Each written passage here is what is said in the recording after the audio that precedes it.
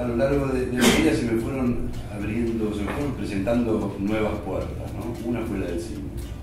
Este, antes fue la de la poesía, después fue la de la canción. Y, y- y lo que ocurrió fue que un día este, me desperté con una idea que era para una película, no para una historieta, no para una canción, no para un poema, sino que sabía que el vehículo, el mejor vehículo para esa idea era, era una película. Pero no tenía ni puta idea de cómo se hacía una película, así que este, sí había visto mucho cine, pero ni siquiera lo había visto con un ojo de estudio, de análisis, lo había visto como espectador este, bien predispuesto al disfrute, nada más.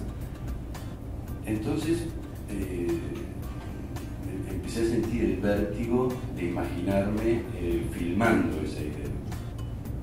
Bueno, no sabía cómo hacerlo, entonces me metí en una escuela de cine, este, pero que soy, hice nomás un año y, llegaba primero, me sentaba primero en todas las clases, quería entender este, qué mierda era la profundidad del campo, que ¿no?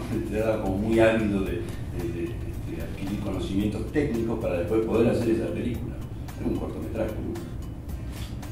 Y así que bueno, cursé ese año. Y, ya para el final del año tenía un equipo armado, incluso con algunos profesores, este, porque lo que, lo sí tenía este, era mucha pasión, muchas ganas, eh, y, ya había ido a, buscar las locaciones, eh, había fotografiado cada esquina, ya me imaginó el personaje pasando por esas esquinas. eh, esto fue filmado en un pueblito, ¿no? de la ciudad de Buenos Aires. Y, y todo me parecía maravilloso y además me sacaba a mí de mi actividad mm, cotidiana, que era la de historietista, y que es una, que es una actividad eh, opuesta casi, en muchísimos sentidos.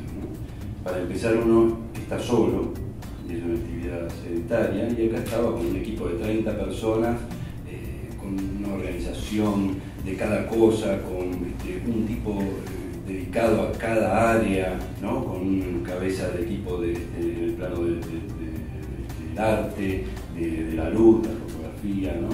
el vestuario, todo, todo tenía este, gente que, se tenía que ocupar de eso, que me hacía preguntas. eh, así que me parecía súper interesante, súper movilizador y estimulante. Brevemente digo que el primer día, hoy llegó hasta acá, vamos a hablar, el primer día de filmación eh, me hice una pregunta, que fue, ¿quién me mandó a? Y yo estaba más bien sentado ahí, empujando en mi casa. ¿Quién me mandó a hacer?